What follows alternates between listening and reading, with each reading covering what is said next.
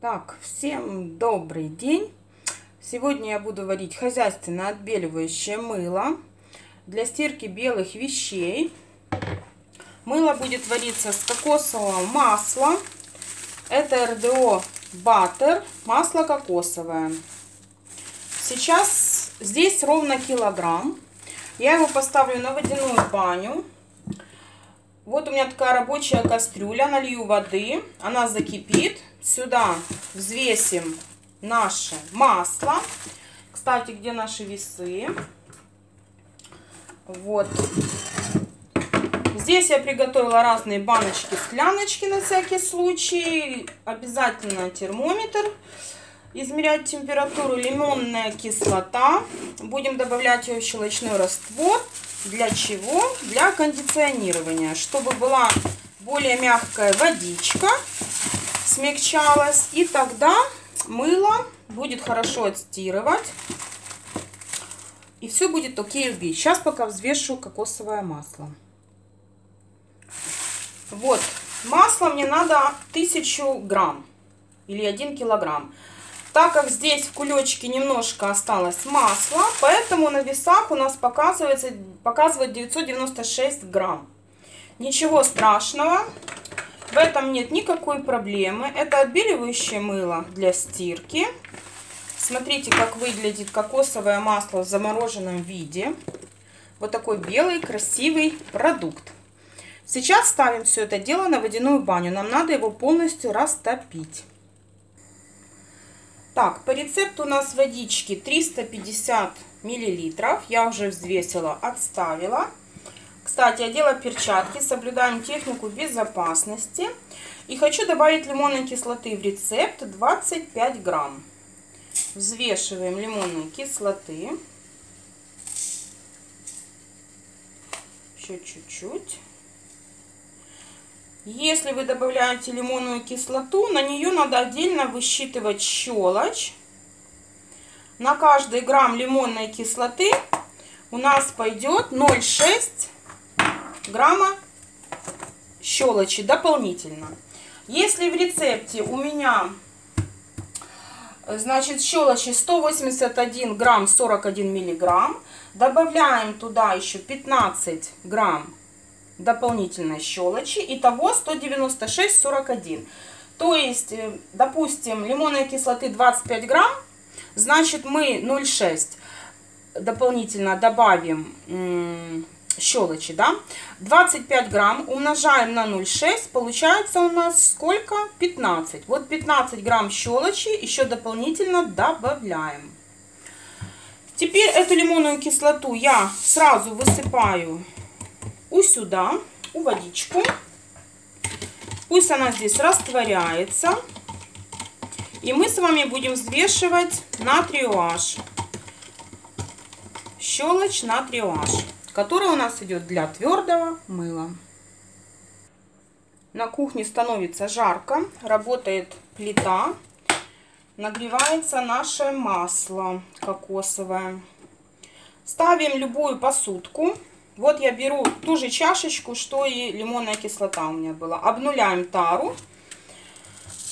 Натрий это щелочь опасное вещество. Нам надо взвесить 196,41.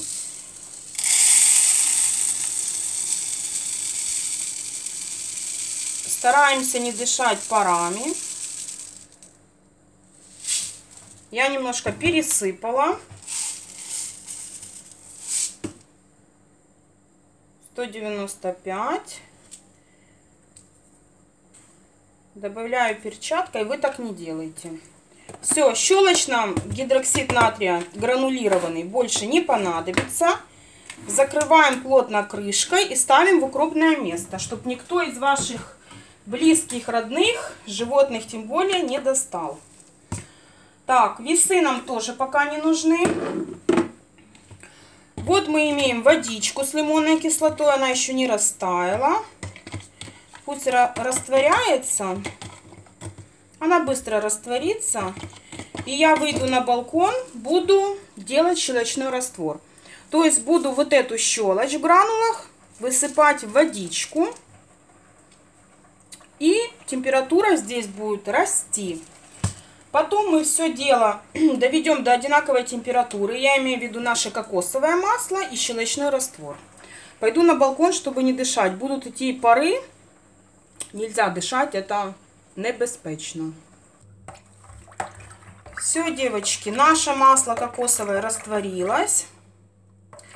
Немножко оно теплее, чем щелочь. 52 градуса.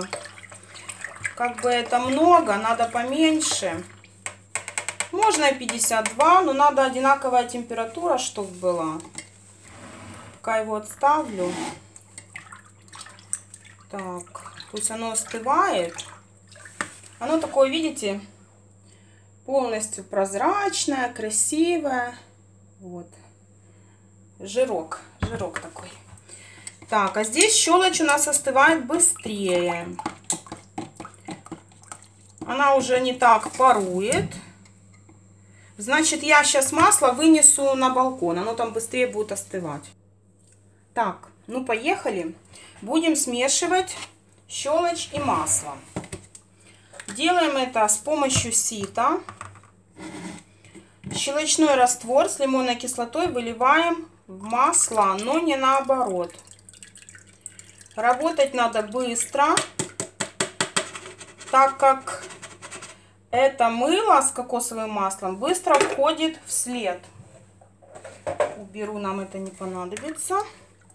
Сначала перемешиваем лопаткой. Хоть бы все получилось. Я хоть не первый раз варю мыло. У меня на канале есть видео с хозяйственным мылом, как я его варила, нарезала. Ну, каждый раз это, знаете, такой процесс.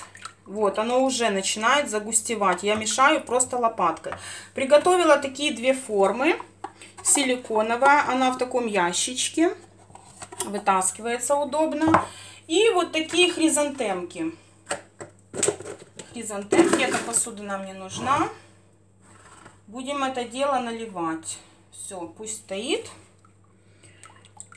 Сейчас берем блендер. Вся посуда для мыла должна быть отдельная. Блендер у меня уже хочет немножко умереть. Он уже свое отработал, отслужил. Но у меня на замену есть новый. Если этот вдруг откинет копытца свои, мы возьмем новый. Смешиваем две фазы до легкого следа. То есть молекулы жира должны соединиться с молекулами щелочи. Вот вам видно? Такая, видите, мутная масса получается.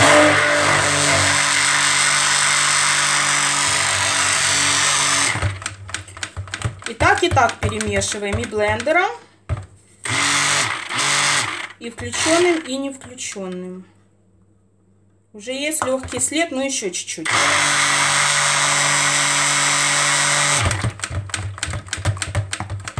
Это стучит провод.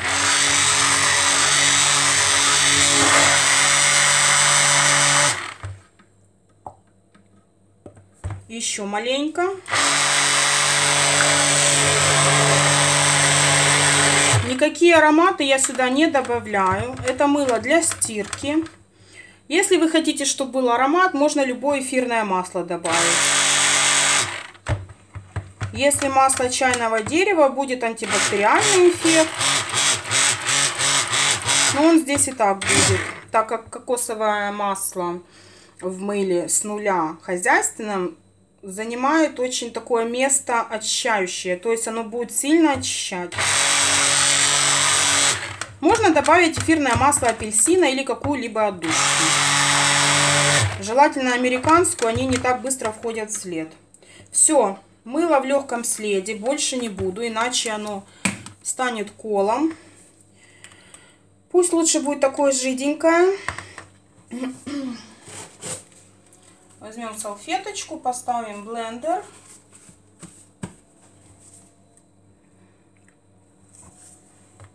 И будем разливать форму. А то у меня опять заказывают, а мне нечего дать. Последний кусочек забрали хозяйственного. Значит, этим мылом желательно стирать только белые вещи. Если цветные, застирал и сразу надо полоскать, так как может остаться осветленное пятно на цветной ткани. Поэтому лучше только белые.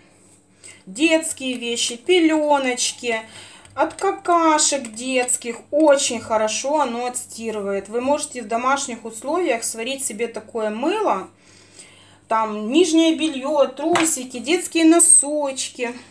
Вообще бомба-ракета. Так, ставим.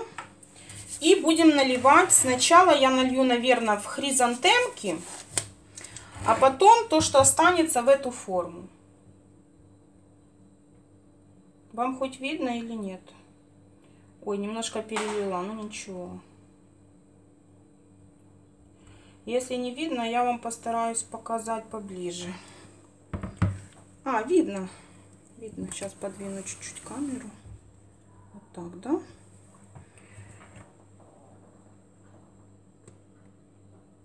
Наливаем, не боимся. Немножко наляпали, ничего страшного. Я просто издалека лью, поэтому мне не очень удобно. Так сюда. Пусть стекает.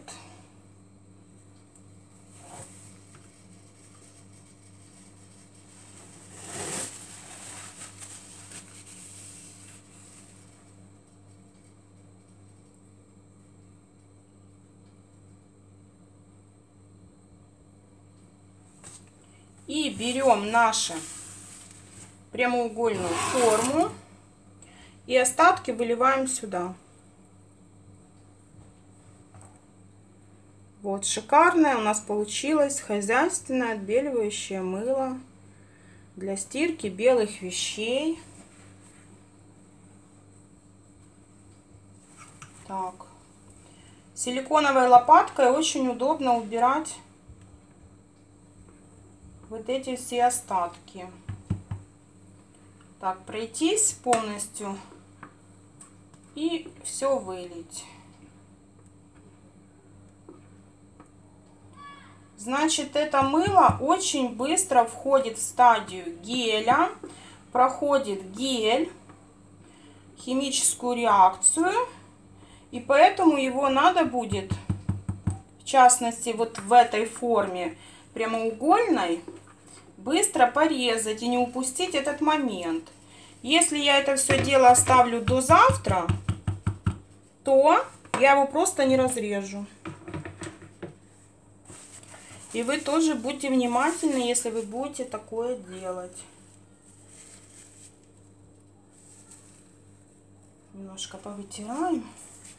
Так, форму надо остучать, чтобы пузырьки, которые там образовались, полопали. Все, девочки, мыло мы сварили. Покажу поближе. Вот так у нас получилось. Значит, хризантемы мы трогать не будем, они будут застывать. Им ничего не станет. Они когда полностью пройдут гель, они застынут, затвердеют. Мы их вытащим с формы, и они будут у меня 4 недели зреть. А это мыло я за ним буду наблюдать в прямоугольной форме. Когда оно пройдет гель, и в теплом виде я его буду резать. Потому что потом оно просто превратится в кирпич, который будет, знаете, такими сколами, осколками ломаться, резаться.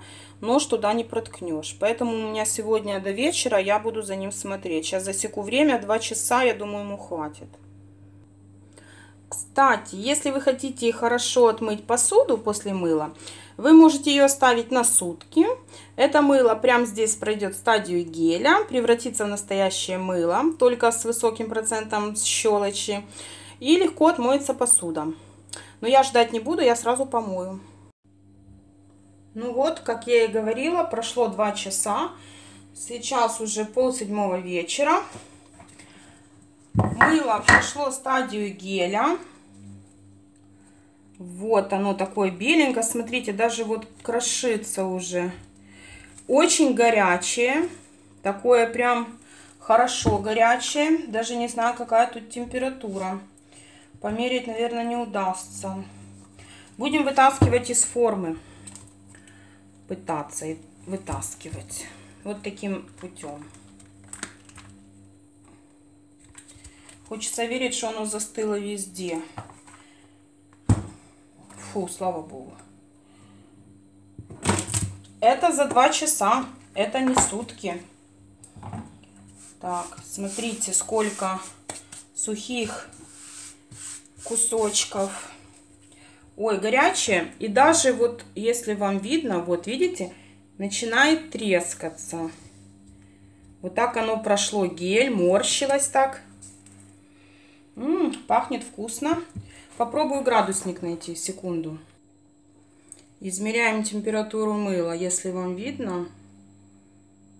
30 градусов. Но оно горячее, просто твердым куском. Вот смотрите, уже выше градусы идут. 33, да. Где-то градусов, наверное, 40.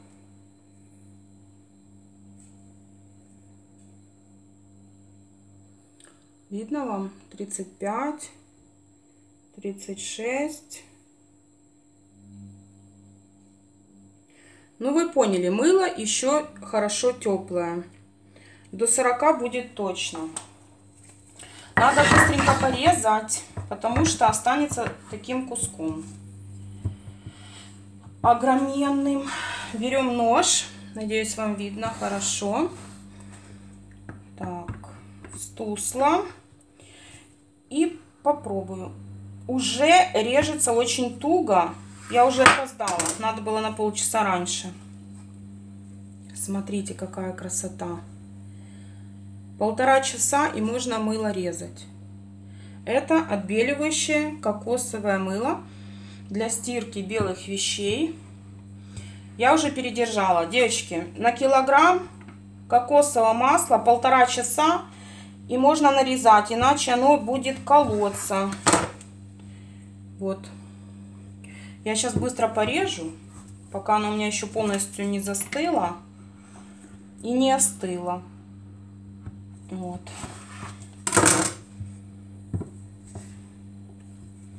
Этот кусочек на две части возьму. Все. А если вы передержите, Можете даже не пытаться резать. Будут осколки. Стусла убираем. Просто сплошной кусок мыла будет. Вы его просто не разрежете. Вы нож туда не ставите. Никакое ни резак, ни стусла. Оно еще тепленькое, хорошее. Уже остывает. Уже я порезала.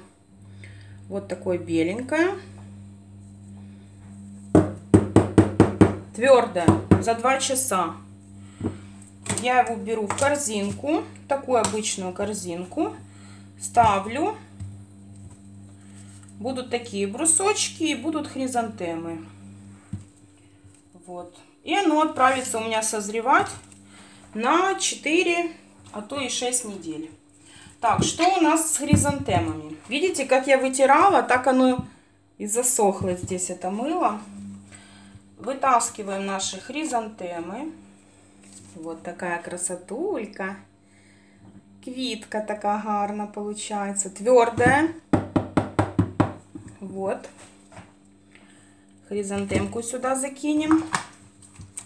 Вот из килограмма масла у нас получилось 5 брусков и 6 хризантем. Отлично вытаскивается. Формочку я стираю потому что я лентяйка в стиральной машине. Так, убираем пока. И вот такие хризантемочки у нас получились красивенные. Они еще горячие, горячие, только из формы. Вот такое красивое мылко. Э, для тех, кто будет варить первый раз такое мыло, я вам советую разливать его порционно в любые формочки, такие силиконовые, типа хризантемы, там может какие-то бабочки, там машинки, не знаю, все что угодно. Тогда вам не придется караулить его. Вы можете залить и уйти себе по делам. Или ну, вечером сделать это мыло и на ночь лечь спать, и вы не будете за него переживать, что его надо быстро порезать, как вот это брусковое. Потому что чем оно дольше стоит, вы утром встанете себе с формы, вытащили, вот, и все. Смотрите, какой ровной текстуры. Нигде ничего. Беленькая-беленькая, как снежок. А вот это уже брусковое мыло, которое мы заливали в прямоугольную форму, с ним, конечно, надо будет потрудиться. Если будете первый раз варить, лучше не рискуйте. Лучше формочки такие заливайте и все, и забудете себе. Мыло сварено холодным способом. Будет зреть у нас 4 недельки. Сложим в корзинку. Накроем бумажной салфеткой. И а-ля улёну отправится созревать. Вот так. Вот так накроем, чтобы пылью не припадала. И до свидания. И это так же самое. Все. Мыло наше готово. Для белых вещей. Для стирки белых вещей. Всем спасибо за внимание. Пока-пока. Love you.